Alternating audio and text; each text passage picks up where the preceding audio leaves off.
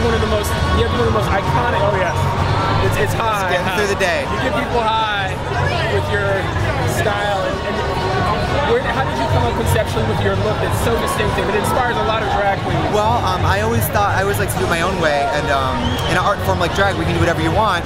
The real question is, why do all drag queens look the same? Exactly. They should all look different. Yeah. You know? Yeah. For me, it was a it's a Polly Pocket meets Barbie meets uh, My Little Pony. Absolutely, absolutely. So tell me about your new project. Oh my God! Well, long before I was Trixie Mattel, I was a folk singer, and um, it never occurred to me to do both together. Because to me, Trixie was never a real thing. But I find that with comedy and music, the more I pull back the mask of Trixie, the more the audience actually really likes it. Okay. Because okay. they like the Barbie with the real inside, you know. Uh-uh. So One of the interesting things is that, like in this in this piece, that's you right there, that's right? me, yeah. It's amazing how cute you are as a girl. Oh, thank you. Yeah, Thank you. people would not know, you know, that you because you, you, have such a transformation. Yeah. Actually, Well, I like to really disappear into Trixie. Yeah, yeah. I mean, it's, and it's it's, it's uh, very iconic. Actually, there's a drag queen that's coming here who actually was inspired by you. If there's just one person I want to meet, and you may see her. Uh, uh, it's uh, what's her name? Uh? Mir- no, no, no. Miranda. Uh, Miranda Sings. Jet Set.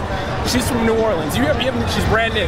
Oh, uh, so she, I'll, I'll bring her around if I, I bump into her. She's somewhere in here. And DragCon, what do you think about the expansion of it? It's like I remember I came to the very first yeah, one. DragCon grows exponentially every year. It's every year. it's- incredible. You can barely even like turn your head without bumping into someone with long, long eyelashes and big hair. Yeah, it's bananas. It's Everybody's in drag here. The drag queens in drag. The women are in drag.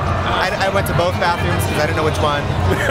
I just peed a little in both. That's okay. It's, it's open. It's open. We're, we're, we're- we're breaking all the boundaries. We got Donald.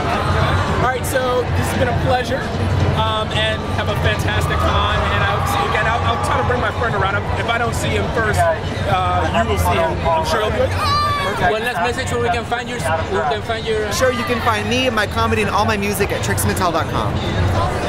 Can I get a picture with you? Sure.